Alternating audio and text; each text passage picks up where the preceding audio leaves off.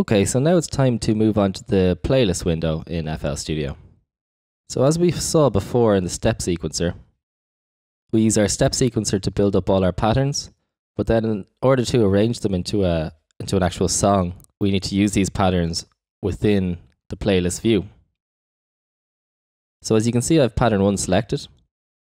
And now by using my pencil tool, I can click over here and draw in pattern one. And now previously we were selected on pattern mode here. Once we move this to song mode, now we're into our playlist view. So now if I press play,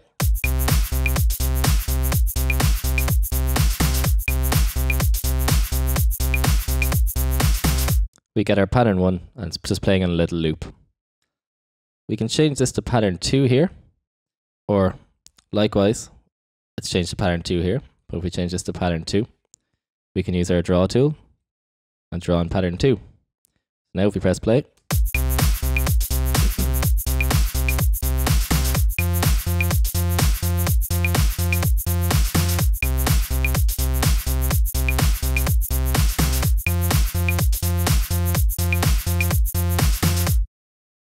And we can continue to do that if we wanted. We could go back to pattern one,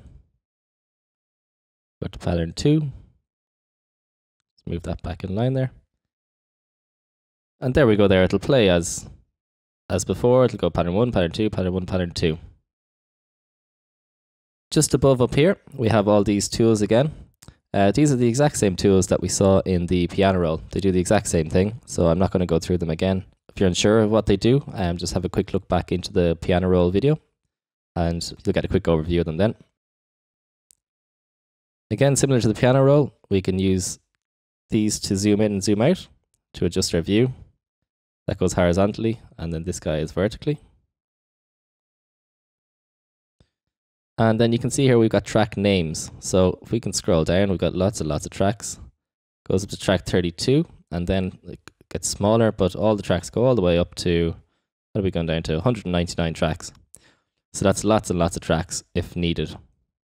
As we touched on before, FL Studio works quite differently to some other DAWs, such as Cubase or Logic, whereby in those DAWs, each track here would be assigned to a specific instrument, whereby in FL Studio, each track is assigned patterns, and all your instruments are contained within your step sequencer here. So it's a slightly different workflow, but once you get your head around it, it's, it's quite simple, really.